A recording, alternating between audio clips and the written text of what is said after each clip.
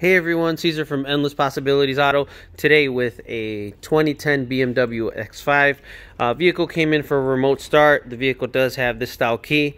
Um, so the way we set this one up is you press lock three times on the factory key fob. Uh, remote start recommends or recognizes a command to fire up. It starts to generate the data needed to start the car. And then it kicks on. So for this remote start, we can add it, or for this uh, BMW with this style key, we can actually add it to the factory key fob.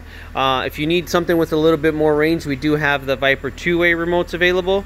Um, also, if you need something longer than a two-way remote that reaches up to one mile, we could set it up on an unlimited range smartphone Viper app.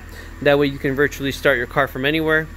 A um, few different options for you. This is the most convenient since this is a key fob you already have to carry. Uh, another setup that's popular is if we set set it up on your key and on your phone as well. That way you don't have to carry any additional remotes. You carry your smartphone anyway. Works out pretty good. Uh, if you guys have any questions, you have this style key, whether it's a BMW or a Mini Cooper, we can definitely do a remote start on it. I know for a while it wasn't able to be done, uh, but we're able to do it. Uh, give us a call. I'll link our email, phone number, and social media below. And don't forget to uh, click like, subscribe, and share. Uh, or tag your buddies or family members that have a BMW that need a remote start this winter. Give us a call.